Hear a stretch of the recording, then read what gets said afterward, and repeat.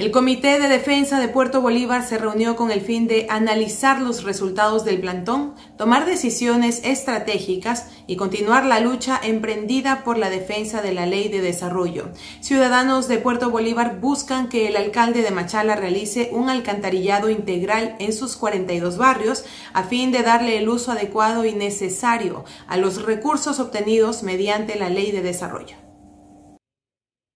Ciudadanos que conforman el Comité de Defensa de Puerto Bolívar se reunieron la mañana de este miércoles 7 de julio para analizar los resultados del plantón realizado en días anteriores y extender una invitación pública al alcalde de Machala, Darío Macas, para socializar sobre el proyecto de construcción del malecón porteño, esperando su asistencia y de no hacerlo, agotarán todas las medidas para ser atendidos. En virtud de que rechazamos eh, la mala utilización de la ley de desarrollo de Puerto Bolívar,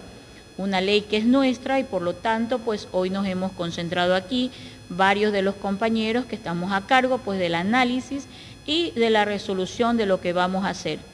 Hoy hemos resuelto nosotros, el comité este, en pleno, de invitarle al señor alcalde de Machala a una asamblea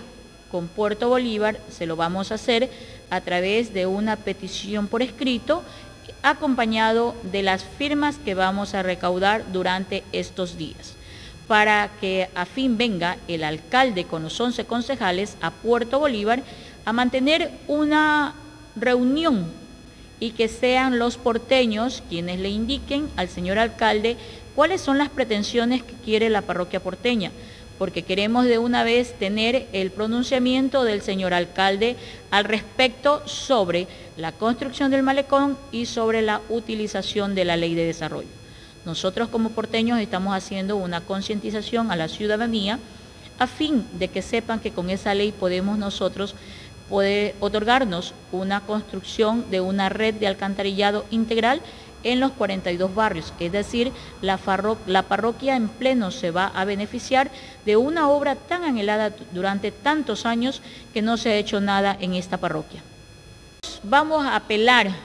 al señor alcalde que se acerque en primer lugar con los 11 concejales aquí a la parroquia a mantener el diálogo que tanto se espera